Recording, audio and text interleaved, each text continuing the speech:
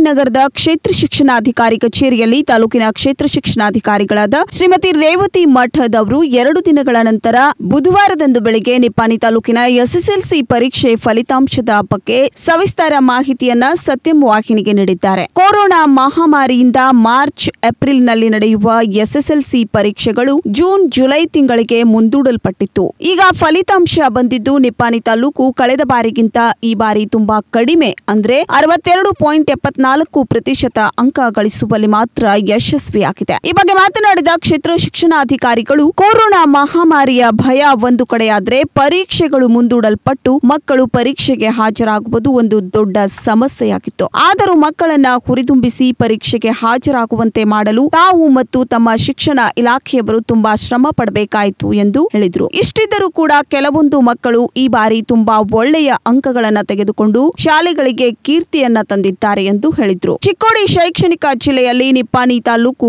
ಈ ಬಾರಿ ಮೂರನೇ ಸ್ಥಾನವನ್ನ ಗಿಟ್ಟಿಸಿಕೊಂಡಿದೆ. ಹಾಗೆಯೇ ರಾಜ್ಯದಲ್ಲಿ ನೂರ ಎಪ್ಪತ್ತೈದನೇ ಸ್ಥಾನವನ್ನ ಪಡೆದುಕೊಂಡಿದೆ ಎಂದು ಕೂಡ ಅವರು ತಿಳಿಸಿದ್ರು. ಇನ್ನು ಈ ಬಾರಿ ಕಡಿಮೆ ಅಂಕಗಳನ್ನ ತೆಗೆದುಕೊಂಡ ವಿದ್ಯಾರ್ಥಿಗಳು ಆತ್ಮಸ್ಥೈರ್ಯವನ್ನ ಹೆಚ್ಚಿಸಿ, ಇನ್ನು ಈ ಬಾರಿ ಕಡಿಮೆ ಅಂಕಗಳನ್ನ ತೆಗೆದುಕೊಂಡ ವಿದ್ಯಾರ್ಥಿಗಳು ಆತ್ಮಸ್ಥೈರ್ಯವನ್ನ ಹೆಚ್ಚಿಸಿ ಗ್ರೂಪ್ಗಳನ್ನ ಮಾಡಿ ವಿಶೇಷ ಬೋಧನೆಯನ್ನ ಈಗಾಗಲೇ ಪ್ರಾರಂಭ ಮಾಡಲಾಗಿದೆ ಎಂದು ತಿಳಿಸಿದ್ರು. ಮಾರ್ಚ್ನಲ್ಲೇ ಪರೀಕ್ಷೆಗಳು ನಡೆಯುತ್ತಿದ್ದರೆ ಇನ್ನೂ ಹೆಚ್ಚಿನ ಪ್ರಮಾಣದ ಫಲಿತಾಂಶ ಬರಬಹುದಿತ್ತು. ಎಂದು ತಿಳಿಸಿದ್ರು. ವೀಕ್ಷಕರೇ, ಇನ್ನು ಫಲಿತಾಂಶದ ಬಗ್ಗೆ ಹೇಳಬೇಕೆಂದ್ರೆ ನಿಪ್ಪಾಣಿ ತಾಲೂಕಿನಲ್ಲಿ ಬರುವ ಶ್ರೀ ಸಾಯಿ ಮರಾಠಿ ಮಾಧ್ಯಮ ಪ್ರೌಢಶಾಲೆ ಮಾಂಗೂರ್ ಈ ಶಾಲೆಯು ನೂರಕ್ಕೆ ನೂರು ಪ್ರತಿಶತ ಫಲಿತಾಂಶವನ್ನ ಪಡೆದಿದೆ. ಶಮನೇವಾಡಿ ಗ್ರಾಮದ ಪದ್ಮಜಾ ಬಾಲಕಿಯರ ಪ್ರೌಢಶಾಲೆಯು ಅತಿ ಕಡಿಮೆ ಅಂದ್ರೆ ಕೇವಲ ಏಳು ಪಾಯಿಂಟ್ ನಲವತ್ತೊಂದು ಫಲಿತಾಂಶವನ್ನ ಪಡೆದುಕೊಂಡಿದೆ. ಈ ಶಾಲೆಯಿಂದ ಹಾಜರಾದ ಒಟ್ಟು ಇಪ್ಪತ್ತೇಳು ವಿದ್ಯಾರ್ಥಿಗಳ ಪೈಕಿ ಕೇವಲ ಇಬ್ಬರೇ ವಿದ್ಯಾರ್ಥಿಗಳು ಪಾಸ್ ಆಗಿದ್ದಾರೆ ಇದು ತುಂಬಾ ದುರದೃಷ್ಟಕರ ಸಂಗತಿಯಾಗಿದೆ.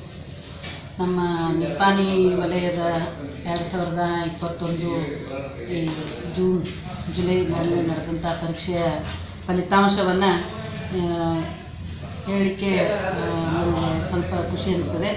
ಯಾಕೆಂತಂದರೆ ಇಂತಹ ಒಂದು ಕರೋನಾ ಸಂದಿಗ್ಧ ಪರಿಸ್ಥಿತಿಯಲ್ಲಿ ಮಕ್ಕಳು ತೃಪ್ತಿಗೆಡಲಾರ್ದೇ ಪರೀಕ್ಷೆಯನ್ನು ಎದುರಿಸಿ ಉತ್ತಮ ಫಲಿತಾಂಶವನ್ನು ಕೊಟ್ಟಿದ್ದಾರೆ. ಯಾರು ಚೆನ್ನಾಗಿ ಓದಿದ್ದಾರೆ, ಅವರು ಫಲಿತಾಂಶ ಚೆನ್ನಾಗಿ ಬಂದಿದೆ.